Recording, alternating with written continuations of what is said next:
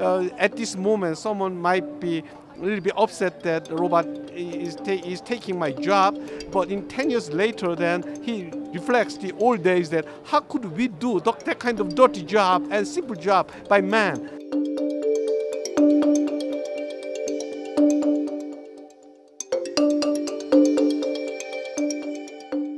As a robotics engineer, no en- robotist make killer robot. No robot system makes uh, the robot who is taking take over the human's uh, uh, their job. The, what we make the robot is for replacing dirty jobs, difficult jobs, and dangerous jobs.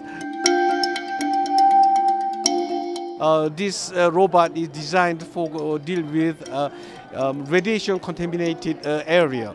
In that case, uh, the destruction is not very heavy, but man cannot get in. Then the robot should uh, drive, approach by driving, and he has to get out from the vehicle and he has to open the door and get into uh, the scene and he has to remove the debris sometimes and he may close the valve and he may big hole through the wall if it is blocked and he has to climb up the stairs uh,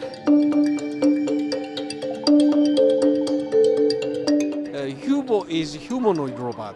Humanoid robot is general purpose robot. Uh, so a target, a task target is not specified uh, because uh, this human-like is a human-like dexterity, so it can drive sometimes, it can pick something. Uh, so it does deviate from the drones or specific robots. And secondly, uh, he does not have any high level of intelligence yet.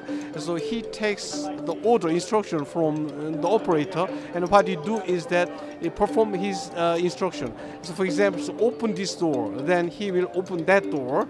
He go this way, and he will go this way. And he asks uh, to pick some objects, and he will do that one. So when he get re- get out from the vehicle, he just rely on the law of physics, very passive, very passive way and dynamic way. Uh, that is very unique feature of human robot. And another one is multimodal mobility. Sometimes it works by two legs, sometimes transform to kneel position, rolling. Uh, that kind of multimodal robust uh, mobility make uh, the the whole robot mobility very robust.